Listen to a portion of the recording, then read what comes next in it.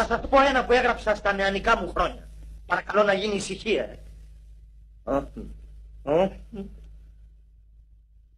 Απόψε σήμερα και χθες όλες οι πόρτες είναι κλειστές και εγώ είμαι απόξω και μες στο θάμπο στο θάμπο παίρνω αμπάριζα να μπω και με πετάνε όξω.